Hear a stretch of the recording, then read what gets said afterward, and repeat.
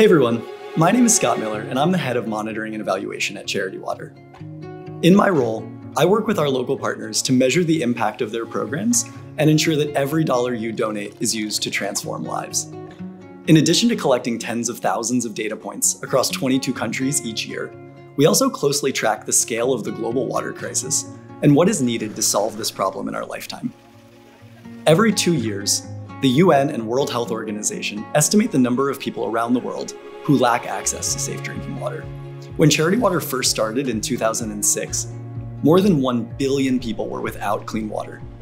By 2020, an estimated 771 million people were still without life's most basic need.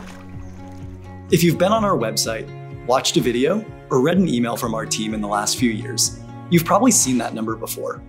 You may have even seen it a lot, it's a number that keeps us up at night, because in reality, it's so much more than just a number.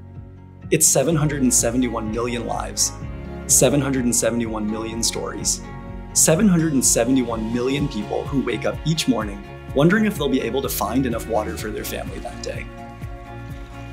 We're thrilled to share that the latest global estimates show that in 2022, the number of people without safe drinking water went down to 703 million, this reflects incredible progress, a nearly 10% reduction in just two years, all while the global population has continued to grow.